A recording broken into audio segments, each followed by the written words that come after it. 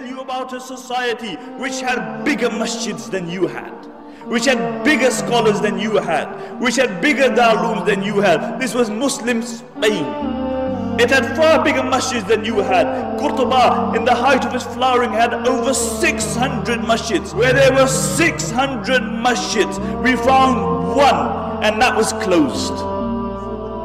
Why? What happened? Because these are people who forgot Allah and Allah made them forget themselves. Have you seen the Alhambra Palace?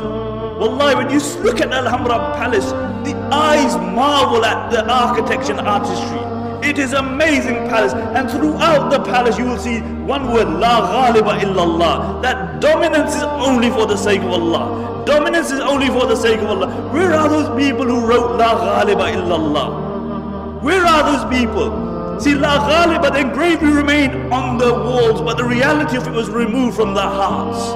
And the reality is that the Alhambra Palace, to a great degree, encompasses the decline of the Muslim Ummah.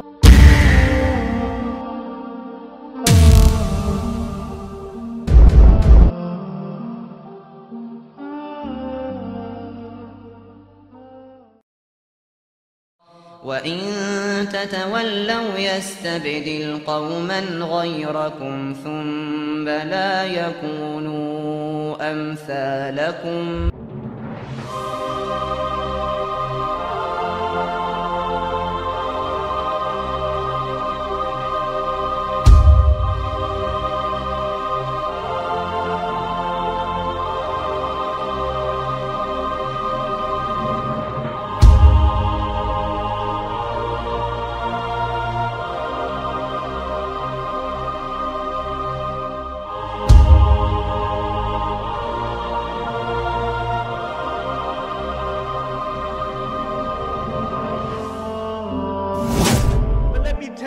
a society which had bigger masjids than you had, which had bigger scholars than you had, which had bigger Darul Ulooms than you had. This was Muslim Spain. It had far bigger masjids than you had. Qurtuba, in the height of its flowering, had over 600 masjids. Where there were 600 masjids, we found one, and that was closed. Why? What happened? Because these are people who forgot Allah and Allah made them forget themselves. And you look at the scholars of Spain. Who were the scholars of Spain? There were the likes of Ibn Hazm. There were the likes of Imam Qurtubi. There were the likes of Ibn Abdul Barr. There were the thinkers like Ibn Sina, Ibn Rushd. These were people who were the backbone of Islamic learning.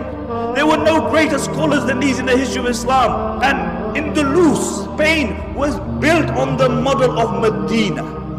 And as long as their focus remained on Medina, they flourished. But when their focus turned toward the dunya, then that same progressive society sank because the Muslims were not created for the dunya. The Muslims were not created for the dunya, the Muslims were created for the hereafter. We are Abdullah, we are the slaves of Allah subhanahu wa ta'ala. And the highest status that we can reach is that we remain the slaves of Allah subhanahu wa ta'ala. This very society, Spain, when their own people their focus became the dunya, that every single person was concerned about himself. He was concerned about his own kursi. And the narrations mention that the rulers of Spain, what they would do, that the Muslims would actually make treaties with the Christians and they would fight against their own Muslims. They would fight against their own Muslims. And really these were the Abu Righals of that time. And throughout history you see, you will find Abu Righal. Do you know who Abu Righal was? Do you know who Abu Righal was? Abu Righal was a man who lived in Taif. And when Abraha, the Yemeni Christian governor, came to destroy the Kaaba, Abu Righal told him, look, I'll show you where the Kaaba is as long as you give me a few pounds. So Abraha agreed. When Abu Righal reached the outskirts of Makkah, he died. And what the Arabs would do, they would pelt his grave with stones because he was a man who was ready to sell his religion and his people for a dollar and a dime. And until today, the Arabs say, if they see a person of a deceptive nature, they say, Huwa Abu Righal. He's Abu Righal. And these were the Abu Righals of that time. And one place after the other fell in Muslim Spain. One place after the other. Besides, until there was only one place left, and that was Granada. And Granada fell 50 years after the rest of Spain. Until Abu Muhammad he drew a treaty with the Christians on the condition that he allowed them to take over on the condition that they would not persecute the Muslim, that they would not forcefully convert the Muslims, that they would not remove the Muslim from their post. And when the Christians came in, the first thing they did, they reneged on their promise. And when they entered the Alhambra Palace, have you seen the Alhambra Palace? Wallahi, when you look at Alhambra Palace, the eyes marvel at the architecture and artistry. It is amazing palace and throughout the palace you will see one word La ghaliba illallah that dominance is only for the sake of Allah. Dominance is only for the sake of Allah. Where are those people who wrote La ghaliba illallah? Where are those people? See La ghaliba the engraving remained on the walls but the reality of it was removed from the hearts.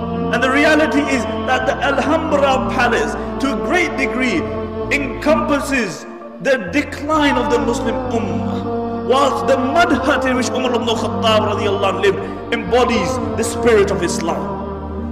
And really, when these Christians they walked into the Alhambra, they found the highest place that they could find. And they erected a crucifix there. And when Abu Muhammad saw this, he began to cry. He began to cry and his mother rebuked him. She said, why are you crying like a woman when you couldn't defend it like a man?